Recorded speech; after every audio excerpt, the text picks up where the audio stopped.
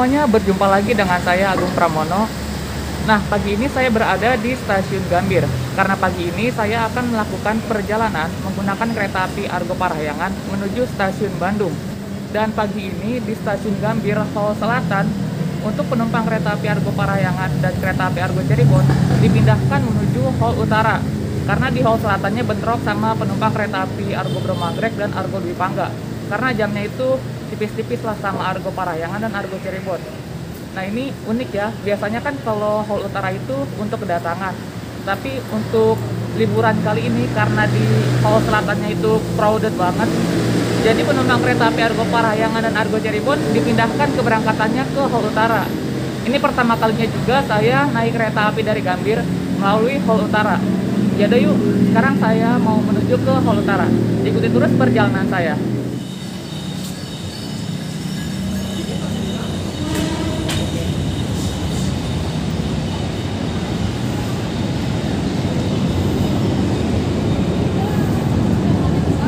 Ini cukup unik nih. Kita masuk lewat pintu kedatangan. Biasanya ini pintu keluar, tapi sekarang kita masuk lewat pintu kedatangan. Selamat pagi. Argo Parahyangan nanti ada di jalur satu ya. Iya, Terima kasih. makasih Mbak. Oke, let's go kita menuju ke jalur satu.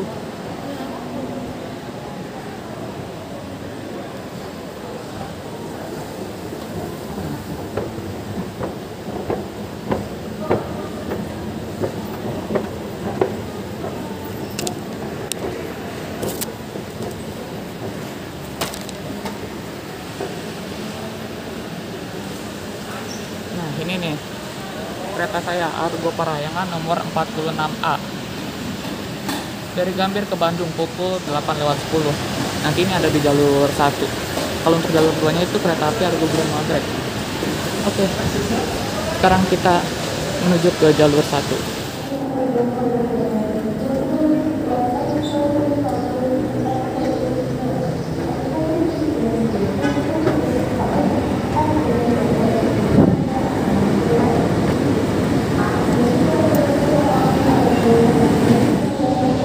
Wah, ini rame teman-teman. Jadi antara penumpang kereta api Argo Parahyangan dan kereta api Argo Bromagrek ini menunggu di satu peron. Untuk Argo Bromagreknya di jalur 2 dan Argo Parahyangannya di jalur 1. Soalnya antara Argo Bromagrek dan Argo Parahyangan itu berangkatnya selisih 10 menit aja. Untuk Argo Parahyangannya sendiri berangkat pukul 8 lebih 10 menit, sedangkan Argo Bromagrek berangkat pukul 8 lebih 20 menit. Nah, untuk Argo Bromagrek sendiri ini eh, tujuannya ke Surabaya Pasar Turi, sedangkan Argo Parahyangan ke Bandung. Nanti untuk di jalur tiganya ini kereta api Argo Dwi Pangga teman-teman ke Solo Balapan.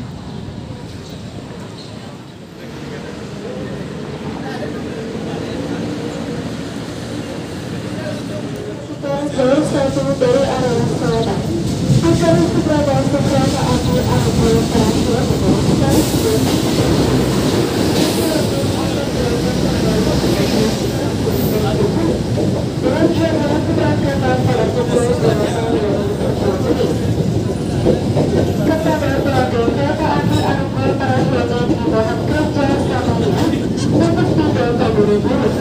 Bahwa kesempatan kepada pelanggan kereta api Argo Parahyangan dari stasiun Bandung yang akan turun.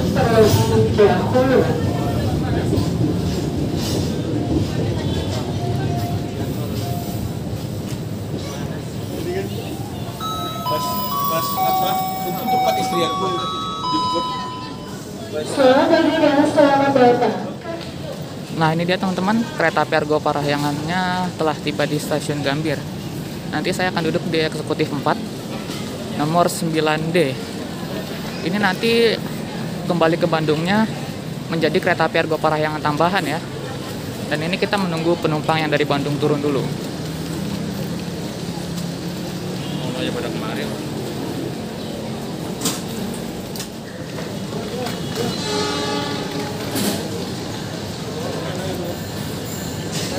Oke, let's go kita masuk ke eksekutif 4. Nah, ini eksekutif eksekutif 4 kereta api Argo Bromo Anggrek dan lagi diputar dulu kursinya.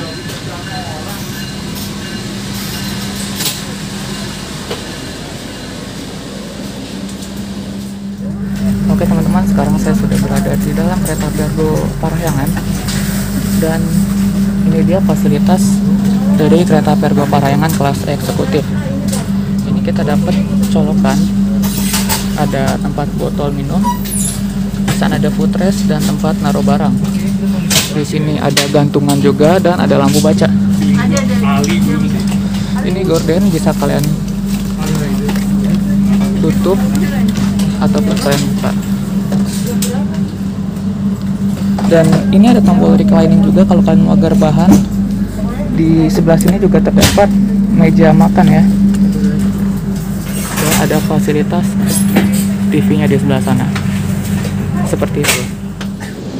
Oke teman-teman, sekarang kita lihat langsiran kereta api Argo Parahyangan dulu yuk. Nanti lokomotifnya akan disambungin di sana. Dan di jalur 2-nya udah tersedia kereta api Argo Bromo Anggrek. Tujuan akhir stasiun Surabaya Pasar Turi. Dia menggunakan stiker G20. Sama kayak Argo Parahyangan juga. Tapi Argo Parahyangan tadi stikernya campur-campur ya. Ada stiker kemerdekaan juga.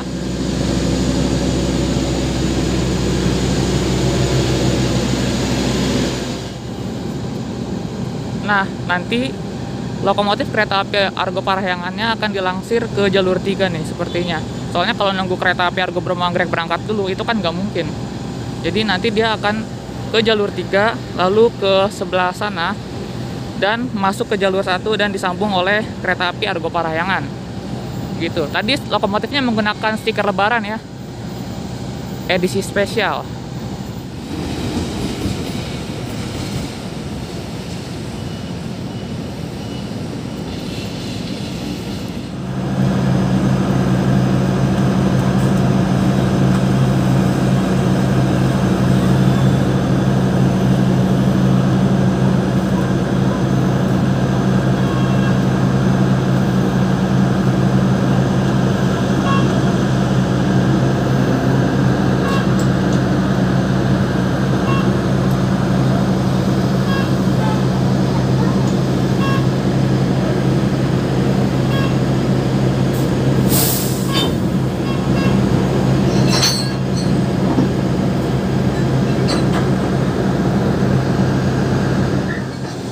Nah, teman-teman, ini kereta api Argo Bromo Anggreknya berdampingan dengan kereta api Argo Parahyangan.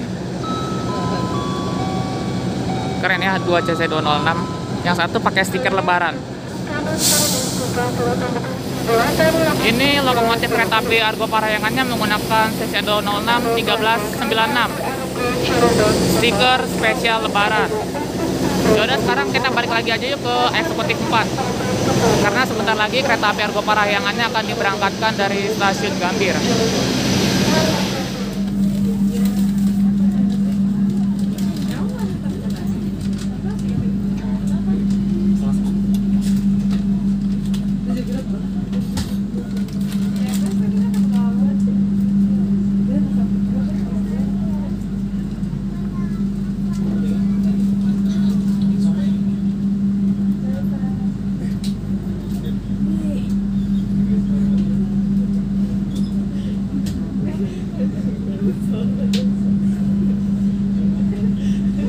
Mereka sendiri yang main gitu.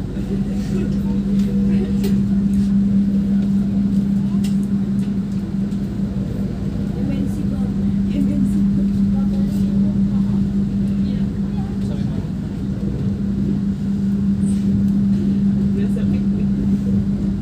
Gua kan mau hujat banget. Kalau di daerah juga gitu. Iya, katanya katanya di sini tuh di sini.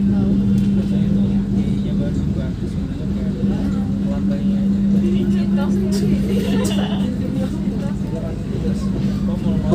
Hormati Atas nama PT Kereta Api Indonesia dan datang di kereta api Argo yang akan mengantar kita ke stasiun Bandung. Perjalanan kali ini menempuh jarak sekitar 170 km dalam waktu 2 jam dan 50 menit dengan jadwal keberangkatan dari stasiun Gambir pada pukul 8 lebih 10 menit.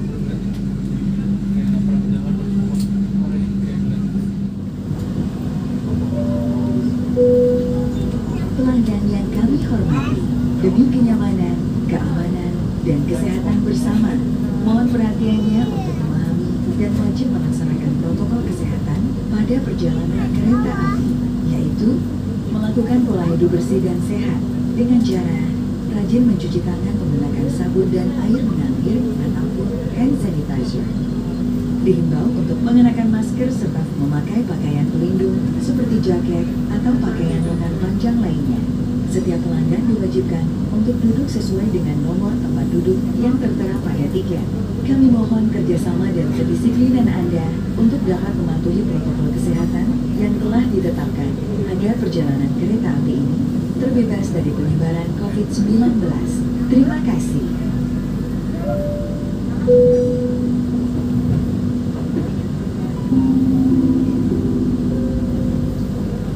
Demi kenyamanan kita bersama, kami informasikan untuk tidak merokok, baik di dalam kereta, di toilet, maupun di bordes.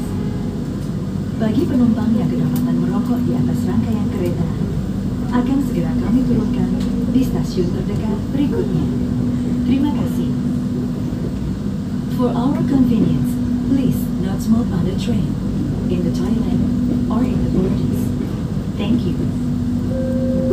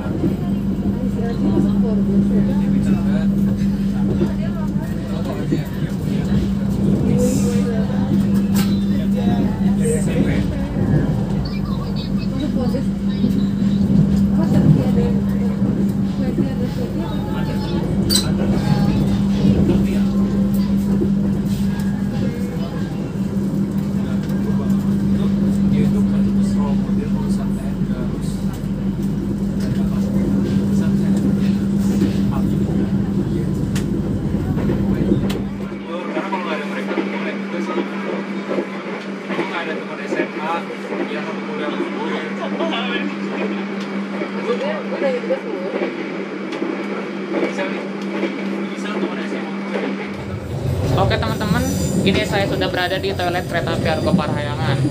Kita review. Di toilet ini terdapat wastafel, airnya nyala, ada klosetnya, ada shower, ada sabun, di sini ada tisu dan tong sampah. Toiletnya lengkap. Dan toiletnya ini dipisah ya antara cowok dan cewek. Ini saya di toilet cowoknya.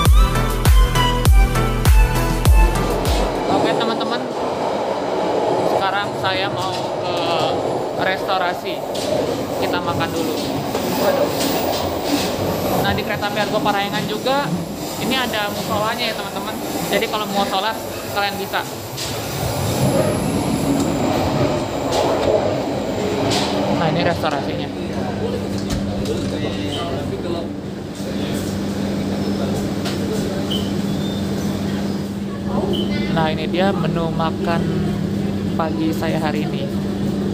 Ini saya pesan nasi goreng parahyangan. Nah ini terdapat nasi gorengnya. Ini ada kerupuk, ada saus sambal, ada ayamnya, ada telur dan ada timun. Ini ada acar. Dan saya pesan juga hot chocolate jadi ini coklat panas ini seingat saya sih harganya Rp35.000 ya untuk di kereta-kereta uh, reguler yang bukan PSO dan untuk hot chocolate ini kalau nggak salah harganya 10.000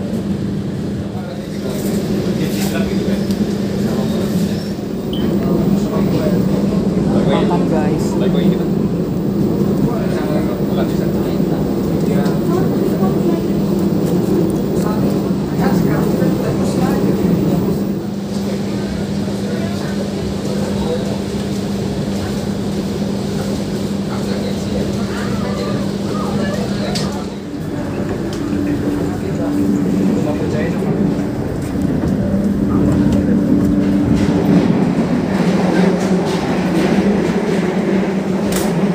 Oke teman-teman sekarang saya udah selesai makan. Tadi totalnya 51.000.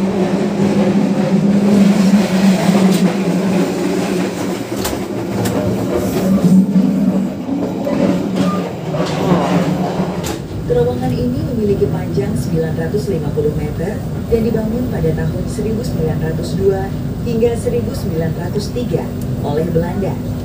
Terowongan Sasaksaan berada di jalur antara Purwakarta dan Padalarang di kilometer 143 antara stasiun Maswati dan stasiun Sasaksaan. Terowongan Sasaksaan membelah perbukitan Cidepok di Kampung Sasaksaan, Desa Sumur Bandung, Kabupaten Bandung Barat. Terowongan ini mendapatkan penjagaan khusus sehingga pada ujung terowongan terdapat gardu jaga untuk juru periksa terowongan. Terima kasih.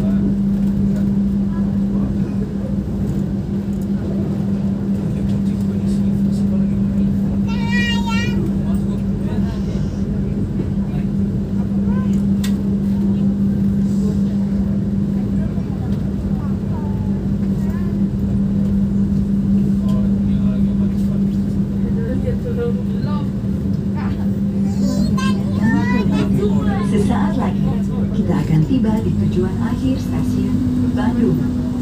Kami persilahkan Anda untuk mempersiapkan diri. Periksa dan teliti kembali barang bawaan Anda. Jangan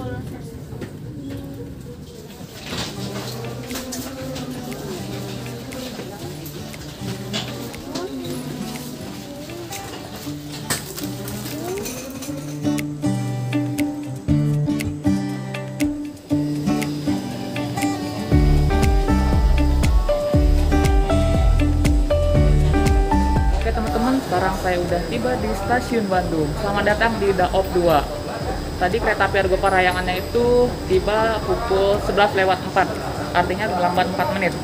Nanti setelah ini paling saya mau hunting-hunting aja deh di JPO Stasiun Bandung. Yaudah, terima kasih buat kalian yang telah menonton video ini. Sampai jumpa pada video saya berikutnya. Dadah!